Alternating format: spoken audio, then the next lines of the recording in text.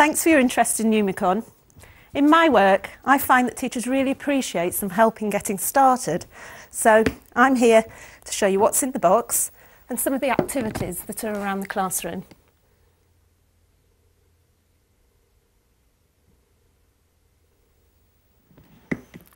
There's lots in here. The all-important teaching file, we'll come back to that later. A feely bag, a number line, magnetic strip and two spinners.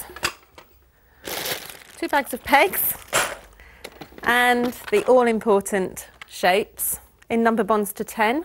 Very colourful and the kids love packing them away, which is always handy and a couple of baseboards. They have overlays, double-sided. Loads and loads of plastic here. Now we need to know what to do with it. The file is a structured teaching programme and the binder comes in four sections. Section one, the teaching guide, gives lots of ideas for planning your teaching and creating a number-rich environment. And there's a really useful section on the key mathematical ideas to support your subject knowledge. The activity cards in section two are great for supporting your maths planning with loads and loads of suggestions for exciting activities. The cards all follow the same format with the key mathematical idea cross-referenced to the teaching guide, the core activities and other ideas for using Numicon, mathematical language, outside, and then the connecting activities that reinforce the same mathematical ideas but using other equipment. The assessment section in number three is linked to the early years foundation stage development bands. And then finally the photocopiable resources to use with the activities such as the spinner overlays. I'm sure you'll find the file really useful and as you grow in confidence, you'll come up with loads of ideas of your own. Now, let's go and see what we can do with it.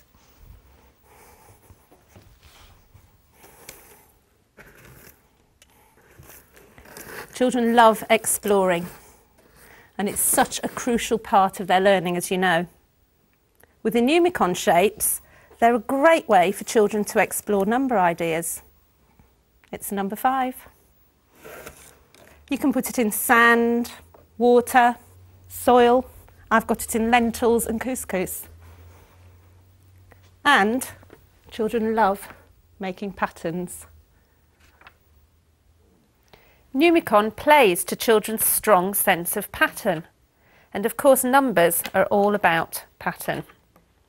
You can use the overlays in the kit to help children recognise the pattern in the shapes.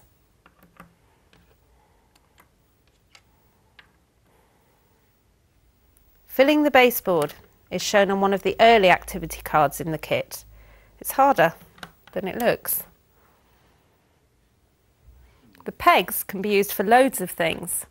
Try getting the children to count them into patterns and then use the shapes to see the whole number.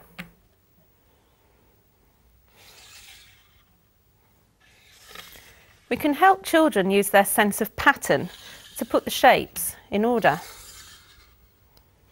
You can photocopy the numerals in the kit and help children link their counting with the shapes to give them their number names. Once the children can see the shapes as whole numbers, then they can start using them for addition and subtraction. 7 and 3 makes 10. The kit comes with a set of overlays that show children how to use whole numbers by matching shapes to make their numbers.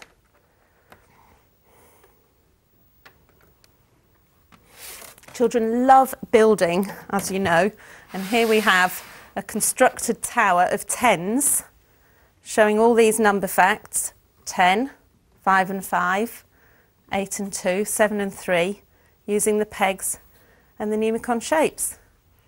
And so as 7 and 3 make 10, then 10 take away 3 leaves 7.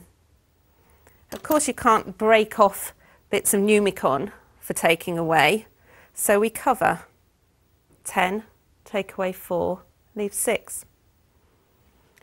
All these ideas and many more are in the activity cards. The spinners that you'll find in the kit are a great way to help children to connect Numicon shapes with numerals.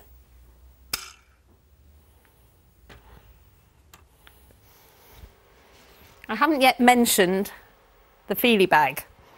I thought it was just a motivational tool. Children love feely bags, but actually it's fundamental for children to visualise a number, get that shape in their heads and visualise it as a number.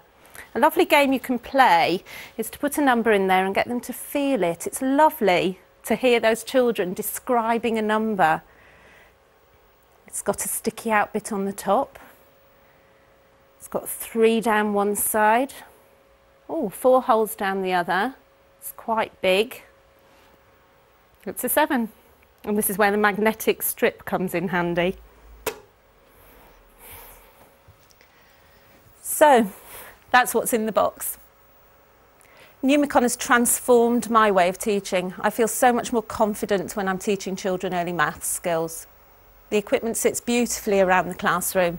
And most importantly of all, I can really see where the difficulties lie in early number skills. Well, I hope you've enjoyed this introduction to Numicon and you find using Numicon as rewarding as I have.